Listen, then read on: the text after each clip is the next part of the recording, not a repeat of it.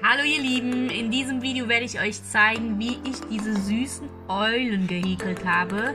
Und zwar werde ich euch zeigen, wie ich diese etwas kleinere gemacht habe. Das ist eigentlich ziemlich einfach und wir legen auch direkt los. Ich habe jetzt hier dieses Jahr Neongrün und eine Nadel von 1,5 Stärke. Wir machen einen magischen Ring und darin sechs Maschen. So, also eins, zwei, drei, vier, fünf und sechs. Diesen ähm, schließen wir jetzt, indem wir hier ziehen und gehen da in unsere erste rein. Was wir jetzt in der nächsten Runde machen, wir verdoppeln jede Masche. Das heißt, wir müssen am Ende, also wir hatten ja jetzt sechs und müssen am Ende dann ähm, zwölf haben. Ja, richtig. Und wieder da rein. So, also in jeder Masche machen wir zwei, bis wir am Ende zwölf haben.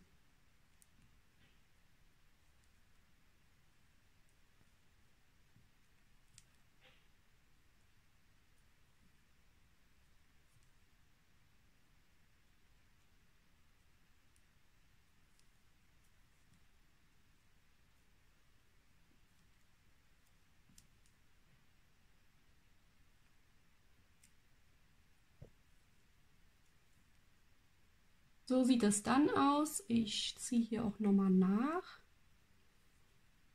So.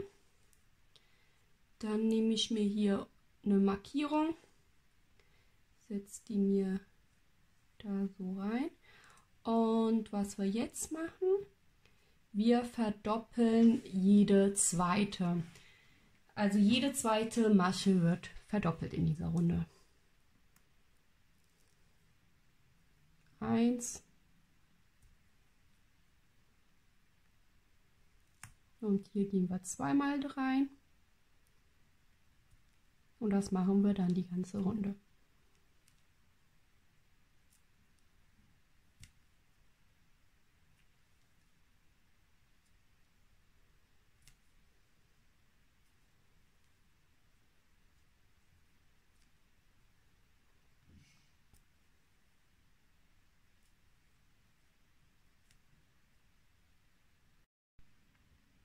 So, in der nächsten Reihe werden wir alle jede dritte Masche verdoppeln. Also eine, zwei und in der dritte kommen zwei Maschen. Und das machen wir wieder auch eine ganze Runde bis zu unserer Markierung.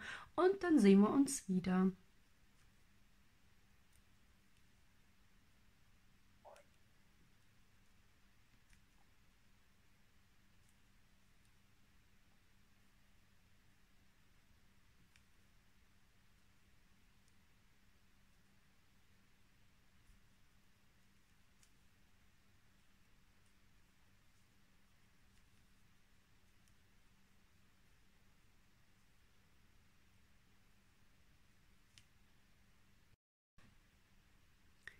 Die Reihe ist nun jetzt auch fertig. Jetzt verdopple ich jede vierte. Und wie ihr schon merkt, in der ersten Runde jede erste verdoppelt, bei der zweiten jede zweite, bei der dritten jede dritte, vierte, jeder vierte und so weiter. Und das habe ich jetzt bei der anderen Eule, bei der etwas größeren, bis zur siebte Reihe gemacht. Bei der hier werde ich allerdings nur fünf machen. Also noch zwei weitere und dann bin ich auch fertig. Also jede vierte wird jetzt verdoppelt.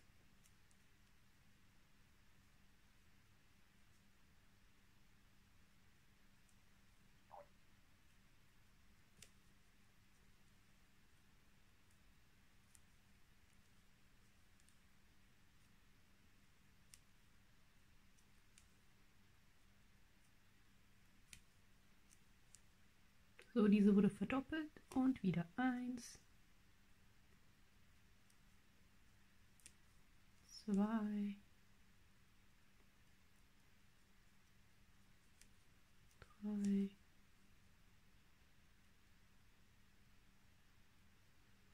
und die vierte verdoppeln wir. Vier und nochmal. So. Und das machen wir bis zu unserer Markierung.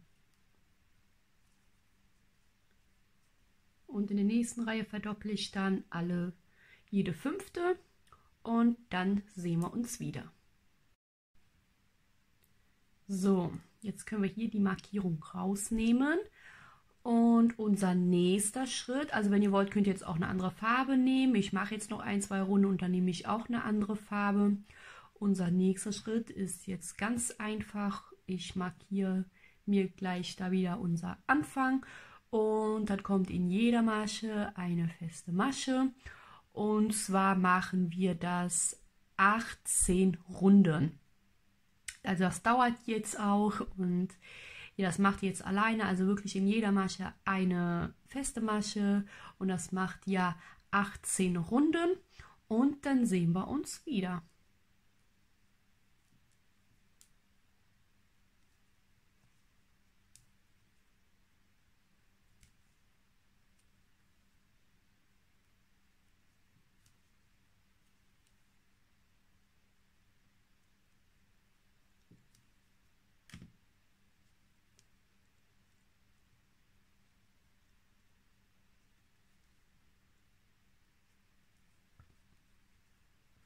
Ich habe nun die 18 Reihen und so sieht es jetzt bei mir aus. Ich habe mich jetzt für diese Farben entschieden.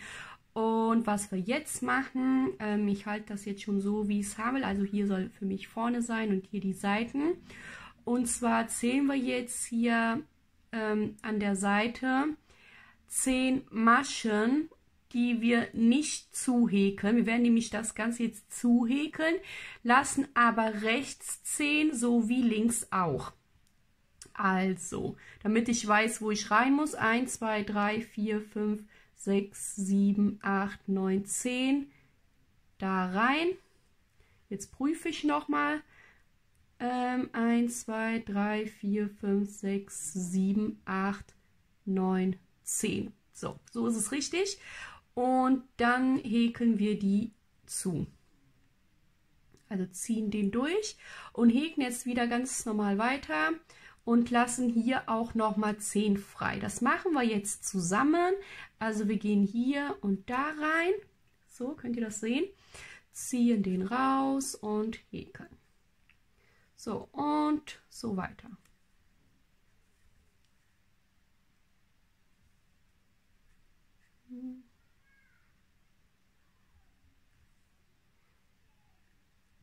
So, dann das nächste.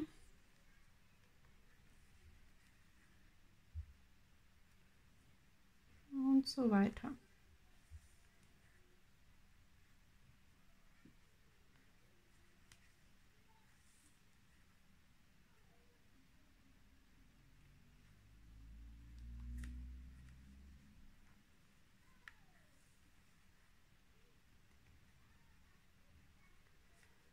So, gleich müssen wir noch mal zählen. So, ähm, ich glaube, einen können wir noch. Jetzt zähle ich erstmal 1, 2, 3, 4, 5, 6, 7, 8, 9, 10. So, jetzt haben wir die beiden Seiten nämlich gleich und wir häkeln jetzt hier weiter. Die Seite machen wir dann gleich und wir häkeln jetzt hier ganz normal, also in jede Masche eine Masche und das zehnmal. Also einmal, zwei, dann die nächste. Und das machen wir wirklich so einmal drumherum.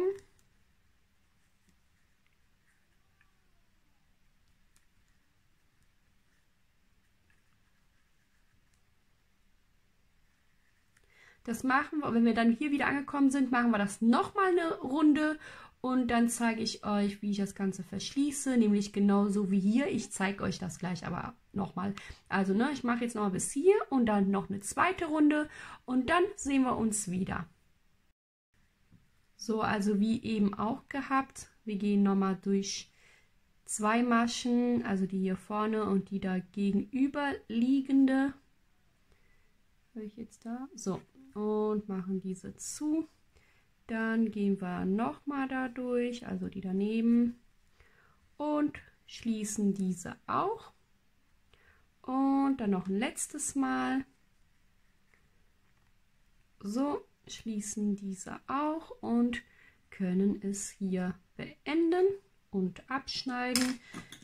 Da lassen wir hier so ein Stückchen dran. Das ziehen wir raus. Das werden wir auf der anderen Seite genauso machen. Also ihr wisst ja jetzt, wie das geht. Ich werde jetzt hier noch äh, Watt, alles mit Watte befüllen. Das habe ich nämlich jetzt irgendwie total vergessen. Ist natürlich jetzt ein bisschen schwieriger, aber es klappt dennoch. Ähm, dann machen wir das hier genauso. Was wir aber noch machen, das zeige ich euch hier, bevor ich das Loch gleich schließe. Ich gehe jetzt einfach hier mit der Nadel durch, habe mir hier noch so ein paar rausgeschnitten in der gleichen Größe, habe mich für diese Farbe entschieden. Da gehe ich einmal so entlang und versuche diese alle in dieses Loch zu ziehen. Gucken, ob es geht. So, und schon sind diese Ohren fertig. Ich werde jetzt gleich nochmal mit einer hier drumherum ein äh, Knoten machen, damit die auch nicht so wie verrückt abstehen, sondern wirklich so. Und das ist das, was ich machen werde. Und wenn ich das Ganze befüllt habe und das andere genauso aussieht wie hier, ähm, plus das zu und also wenn ich es zugeknotet habe und dann sehen wir uns wieder und dann geht es nämlich mit den Augen weiter. So, wir machen nun mit den Augen weiter. Dafür habe ich jetzt hier so einen dunkler Ton genommen. Das ist, glaube ich, jetzt dunkelblau, sieht in der Kamera schwarz aus. Ich hatte jetzt nämlich kein Schwarz und deswegen nehme ich einfach jetzt das. Ich nehme wieder ein, äh, mache wieder ein magischer Ring. Darin mache ich sechs Maschen. Nee, Quatsch. Moment, ich muss noch mal gucken. Ich habe mir hier meine Anleitung, die ich selbst übrigens hergestellt habe. Ich ähm, kopiere niemanden nach. Ich habe das alles selbst gemacht. Also Augen, da machen wir fünf. Eine, zwei, drei, vier und noch ein. Dann verschließen wir das Ganze und dann verdoppeln wir jede Masche, so dass wir am Ende 10 haben. Wir haben ja jetzt 5 und am Ende werden wir dann 10 haben. Also in jede einzelne machen wir 2, aber das kennt ja alles schon und das macht ihr jetzt auch alleine. So, es ist nun fertig und jetzt nehme ich eine neue Farbe. Und was wir jetzt machen, wir haben jetzt 10 Maschen insgesamt und jetzt werde ich jede zweite verdoppeln. Also das war meine erste und in die zweite, da machen wir zwei rein. Und das machen wir wieder die ganze Runde entlang. Dann wieder nur eins und ins nächste wieder zwei. Und so weiter bis zum Ende.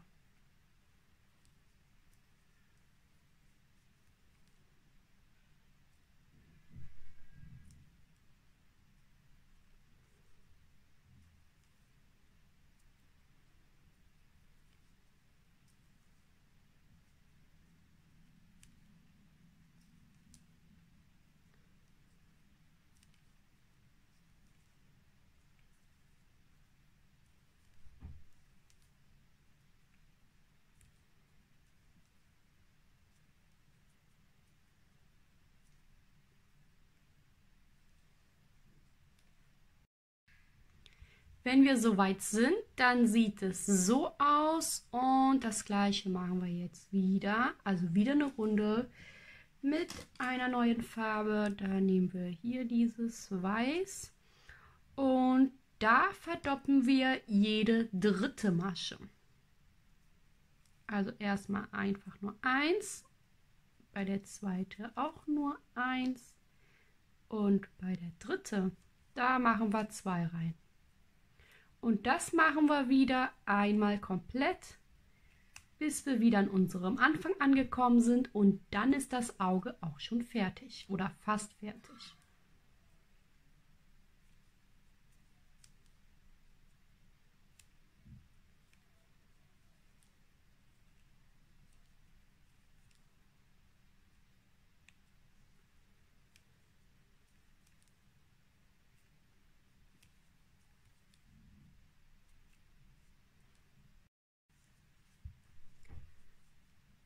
Da habe ich jetzt einen längeren Faden dran gelassen, ähm, die so was, ähm, ja, die hier so noch abstehen, die kommen dann alle da drunter und dann kommt das da so dran und davon brauchen wir natürlich zwei.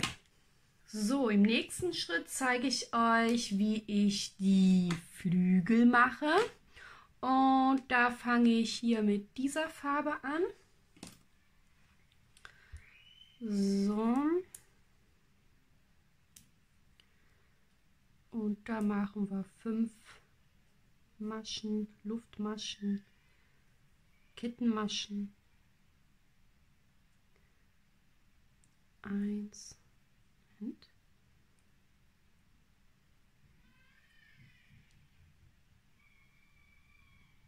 Die zwei, drei, vier, fünf, wir machen sechs. Also sechs. Gehen da nicht in unsere erste, sondern in die zweite. Wir springen in die zweite, machen da unsere Masche. Gehen dann in die nächste rein. Da eine. In die nächste wieder eine. Wir hatten am Anfang 6 und müssten gleich 5 haben.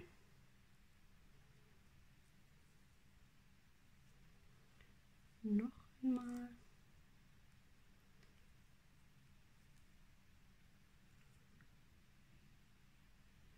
So, 1, 2, 3, 4, 5. Dann machen wir hier eine Luftmasche, drehen das Ganze und wiederholen es wieder gehen da wieder in die zweite rein und müssen am Ende wieder fünf haben.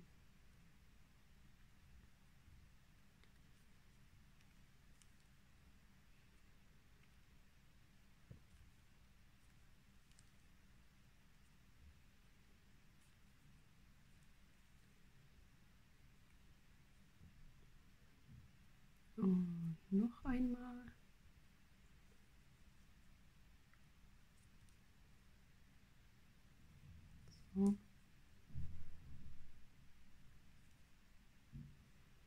Eine Luftmasche. Und dann geht es hier weiter. Das wiederholen wir fünfmal und dann machen wir Abnahmen. Ähm, da zeige ich euch, wie wir das machen. So, ich habe die fünf Reihen nun fertig. Jetzt bei der letzten werden wir keine Luftmasche machen, sondern wir drehen einfach und machen ganz normal weiter. Wir gehen nicht in die erste, sondern in die zweite und somit haben wir nämlich schon eine Abnahme. Eins,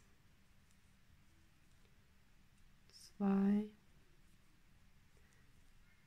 drei, vier. Also nun sind es 4 statt 5.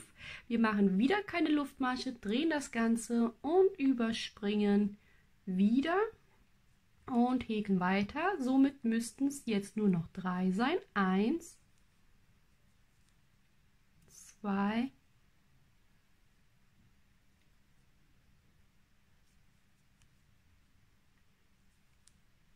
3.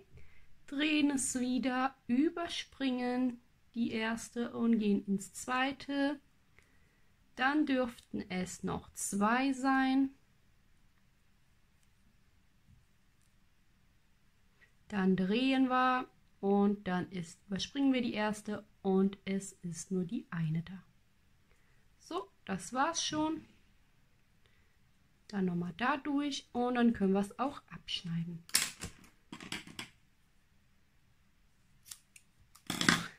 So. Das bleibt aber nicht so. Ich zeige euch, was wir jetzt damit machen. Und zwar nehme ich hier wieder diese tolle Wolle. Dieses Neon grün gelb. Und jetzt häkeln wir einmal drumherum. Ihr könnt es natürlich auch so lassen, aber ich finde das schön und deswegen machen wir das jetzt. Wir stechen hier vorne rein. Und dann häkeln wir einmal drumherum. Und zwar gehen wir da in diese Löcher, die wir hier seitlich haben. Und dann mache ich da immer abwechselnd drei Maschen, zwei Maschen und so weiter. Eine habe ich, das ist die zweite, dann gehe ich da nochmal durch und mache die dritte. Dann gehe ich ins nächste Loch, da mache ich nur zwei.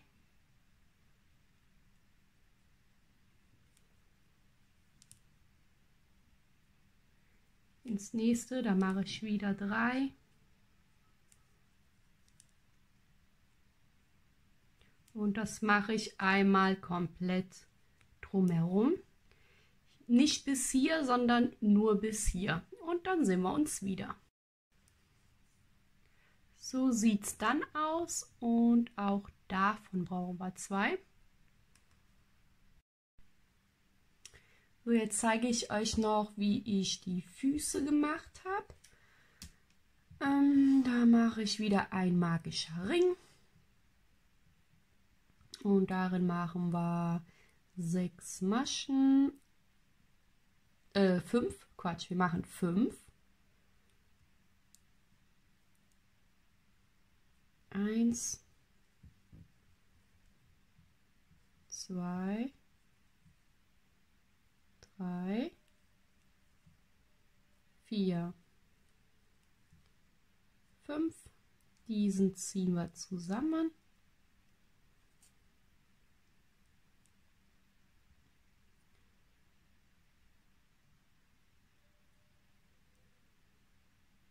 So, da gehen wir rein. Und dann verdoppeln wir jede. Das heißt, wir müssten dann am Ende 10 haben.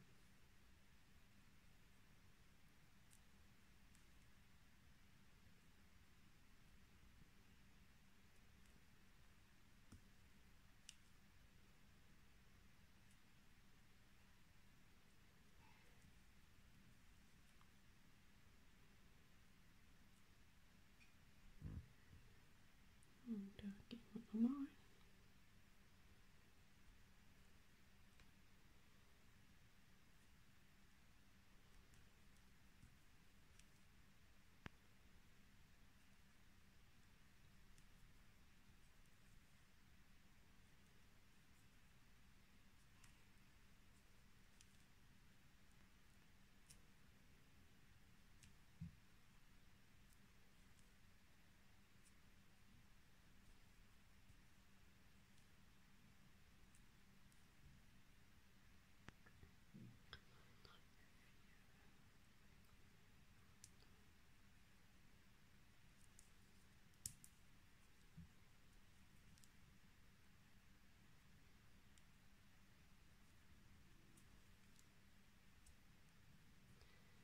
So, nun habe ich die 10.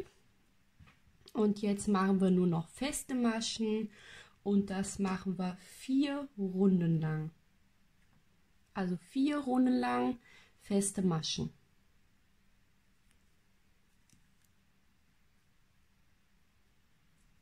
Was wir jetzt machen, wir brauchen jetzt erstmal drei und wollen diese zusammen häkeln. Das machen wir so dass wir hier diese, die hier rausstehen, die können wir da reinstopfen. so dass man die eben nicht mehr sieht. So, dann werden wir es zunähen. Da nehmen wir unser neuer Faden, setzen ihn an und häkeln fünf Maschen. Eins, zwei,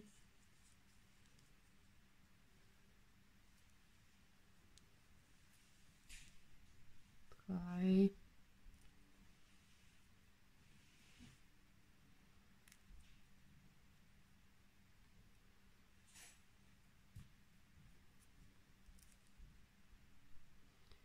vier, Moment, so, und die fünfte.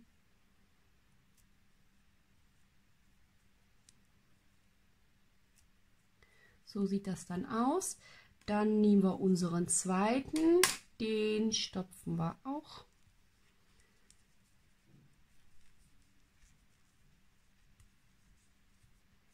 So, halten das Ganze zu halten es daneben und häkeln einfach weiter.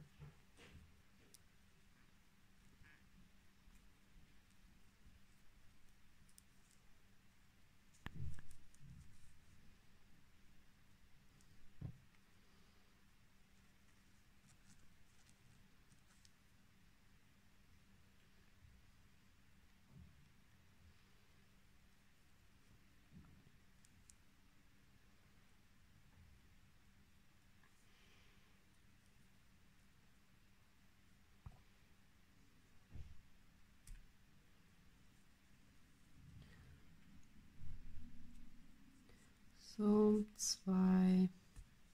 Dann machen wir auch noch mal fünf. Und wenn wir das gemacht haben, nehmen wir noch unser dritter und der kommt dann auch noch dazu. So sieht das Ganze aus und das tun wir hier so dran nähen. Ich zeige euch noch eben, wie ich die Nase mache. Ähm, die ist wirklich ganz einfach und schnell gemacht.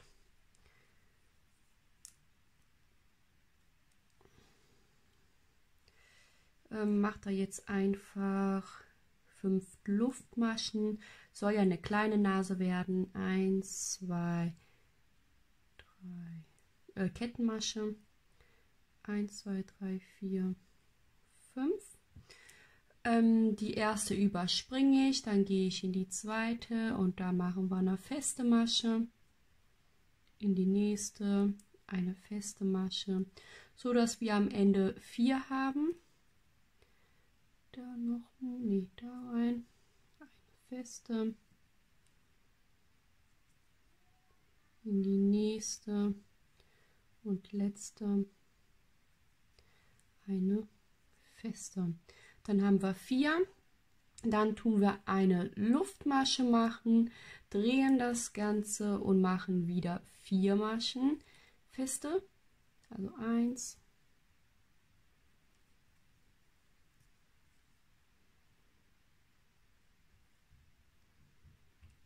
zwei,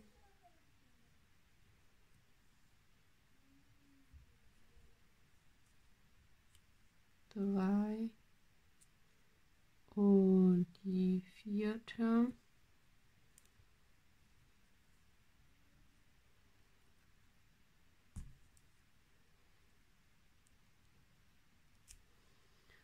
So.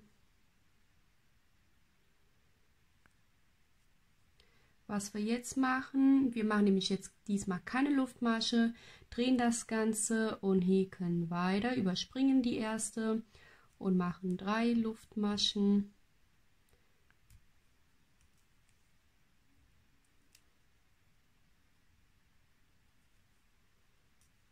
Dann machen wir genau das gleiche. Wir drehen einmal, überspringen, machen da die zwei.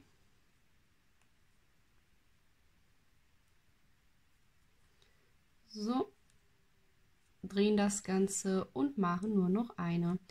Und dann ist es auch fertig. Also das ist jetzt wirklich schnell gemacht. So, das können wir abschneiden. Und dann ist die Nase auch fertig. Ich zeige euch jetzt einfach mal, wie ich was dran nähe. Also jetzt werden alle Teile dran genäht und dann ist es auch schon fertig. Ich zeige euch noch eben, wie ich das hier so ein bisschen anfange.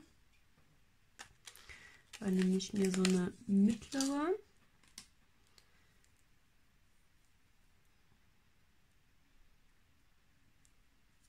So. Guck erstmal, wo ich das Ganze haben möchte. Ja, so. Und dann nähen wir das Ganze. Da gehen wir einfach mit durch.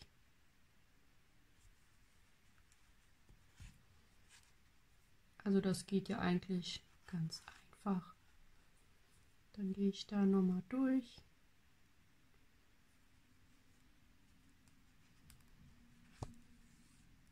Und das mache ich halt einmal drumherum.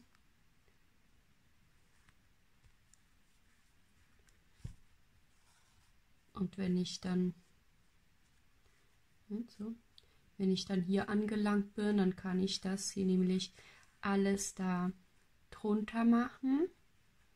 So, damit das eben schick aussieht, das kleine Stück auch. Und dann sieht es nämlich sauber aus. Und nun ist die Eule fertig. Ich habe hier noch ein äh, bisschen genäht, ein bisschen weiß. Und ja, so schaut es aus.